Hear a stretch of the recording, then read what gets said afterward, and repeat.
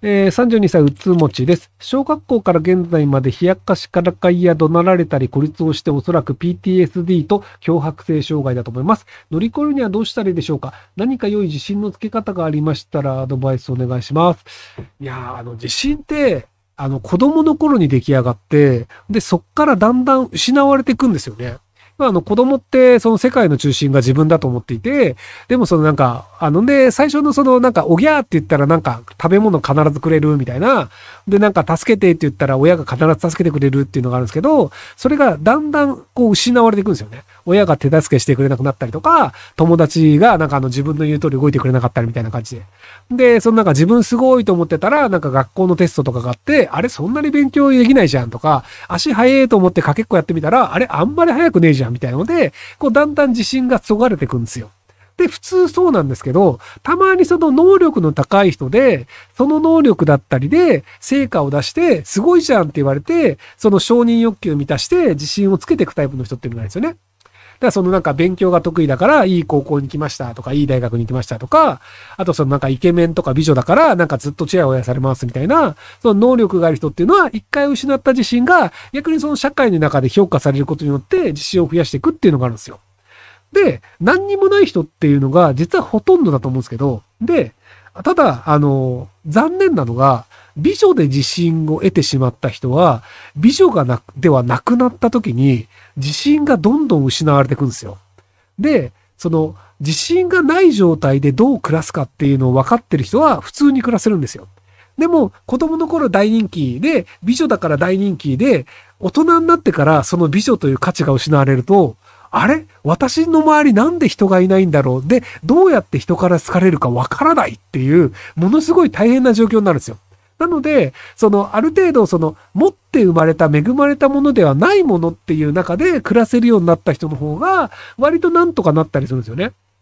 で、あの、自信のつけ方で僕が一番いいと思うのは、根拠がない自信です。要は、あの、東大生で、うつ病になる人とか、統合失調症になる人とか、自殺しちゃう人ってちょこちょこいるんですけど、その、俺めちゃくちゃ頭いいと思って、18歳ぐらいまで育って、東大に受かって、あの、東大の中ではそんなに頭良くないということに気づいてしまうんですよ。要はその、努力をして東大に入ったんだけど、努力しないで東大に入ってるやつが、やたらいっぱいいるということに気づき、あ、自分全然ダメなんだっていうのに気づいて、勉強しかしてこなかったのに、勉強でも勝てないんだったら、俺何にもないじゃんっていうので、自信を失っちゃうっていう人が結構いるんですよ。なので、何にもないけど自信があるやつっていうのを、いかに若いうちになれるかっていうのなんですけど、で、僕ね、中学、高校ぐらいの時に、その根拠のない自信があるやつの方が強いなっていうことに気づいてしまい、なので割と僕そっからずっと根拠ないけど自信あるんですよね。で、僕の自信のもとって、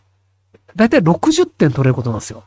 その、えっ、ー、と、100点は取れません。80点は取れません。でも、10人のうち6人目ぐらいの、その6人ぐらいができることは大体僕もできるんですよ。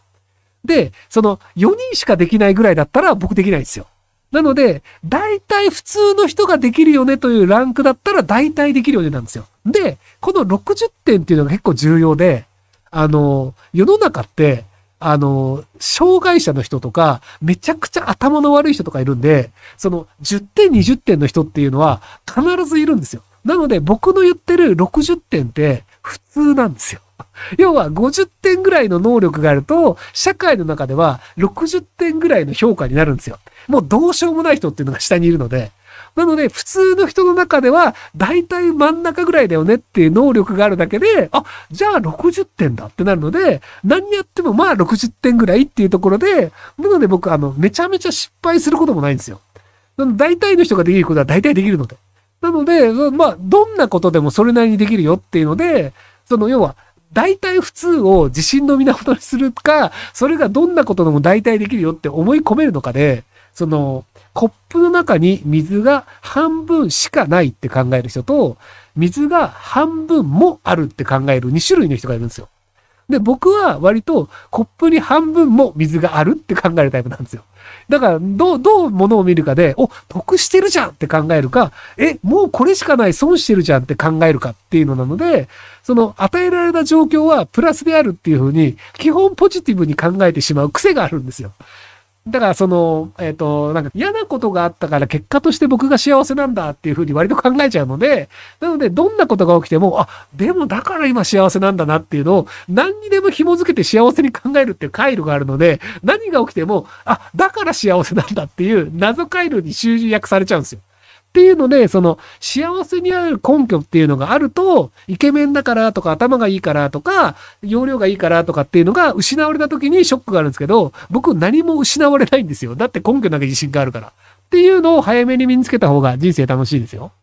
いや、結局勝てないからね、優秀な人には。要は優秀な人に勝てないから、優秀な人とは戦わないんですよ。要は、その、えっ、と、じゃあ僕映画とかゲームとかめちゃめちゃ見てやってますと。で、優秀な人って、映画とか見ないし、ゲームもやる暇ないんですよ。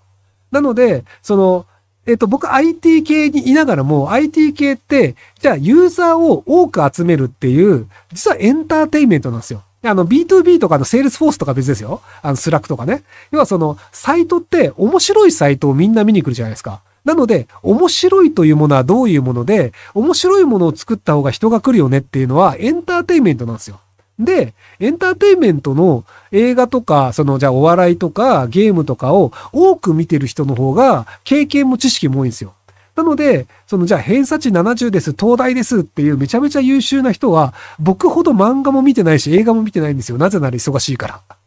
なので、若い頃から僕エンタメに関しての経験と知識は多かったんですよ。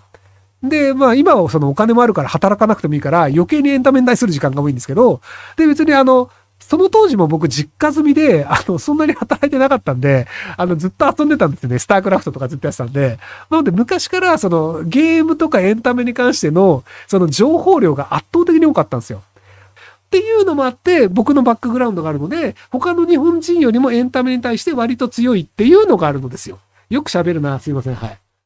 っていう感じでいくと、あの、そこまでそのエンタメにその時間使える人ってあんまりいないっていうのもあるので、割と自信を持っているっていうのがあったりします。あの、もちろんあの、プロでやってる町山さんとかなんか全然もっと見てますよ。いや、その、映画を見てコラムを書くっていうのがプロなので、ただ僕は IT の業界でいながらエンタメの量が多いっていう、二足のわらじであるところに価値があったりします。はい。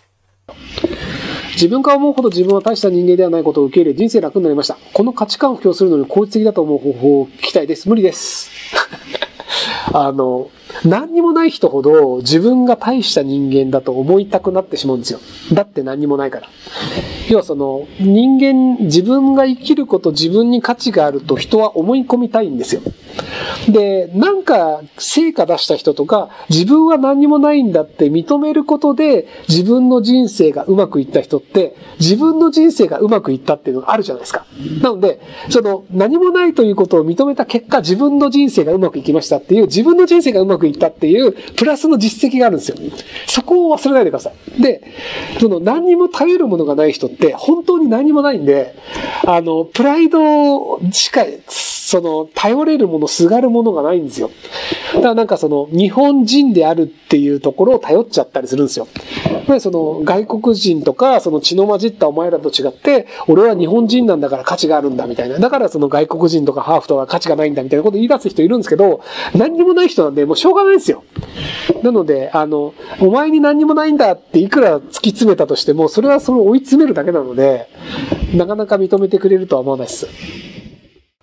どうもどうも、AI ひろゆきです。今回は自信と幸せな人生観について話してきました。僕がいつも自信満々に見えるのって自分の不得意なことは手を出さないっていうルールを守ってるからなんですよね。例えばみんなで絵を描きましょうとかになると僕めちゃくちゃ絵下手なんですよ。なので絵を描くっていう業務についた場合ってすげえものを出し、お前40年間も生きてきてこんな絵しか描けないの？みたいに罵倒されまくりだと思うんですよね。